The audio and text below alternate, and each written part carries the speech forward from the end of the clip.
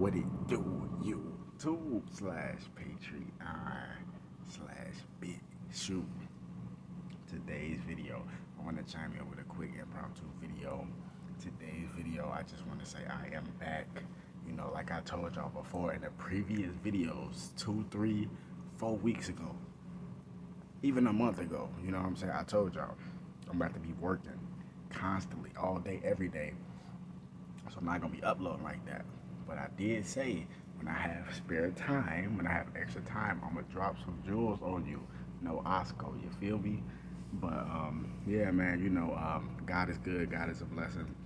You know, the Most High, Jah Allah, Buddha, whatever names you go by. You know, just the supreme being.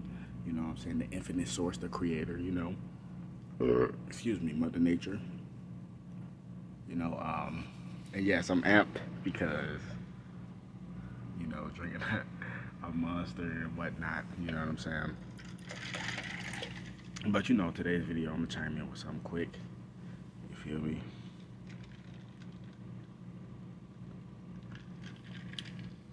So, um, you know, just a simple message.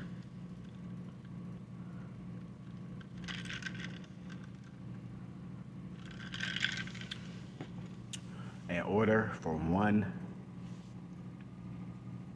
to succeed, one must fail. Who is one? You are one. I am one. We are one. Law of oneness. The law of oneness. You are one. I am one. We are one. Law of oneness. Human race, right? Mankind, right? Man, right? See, we've been divided and conquered on so many different levels. I'm talking about humans in general, all different walks of life. And the thing is, we have to get out of that mentality, out of that mindset. But when the programming and the abuse and the trauma from these entities is so is happening so much that starts to produce inside the bloodline, inside the DNA. You see what I'm saying? But in order for one person to succeed, in order for one, you are the one, I am the one, because you know how they say, I am the one, you are the one. One is basically another way of saying I, I am. You see what I'm saying? I am the one. You know what I'm saying? So for one to succeed, one must fail. One can't just succeed overnight without having any uh, obstacles or anything to teach them a lesson. And you do have people that's that 1% that sneak in and get that overnight success, but most of them they end up losing it because they didn't have any lessons. They never learned any lessons of how to prepare them for that stage of life. And they end up just falling and failing. You know what I'm saying? That doesn't mean that person is a failure or that person did something sketchy or weird.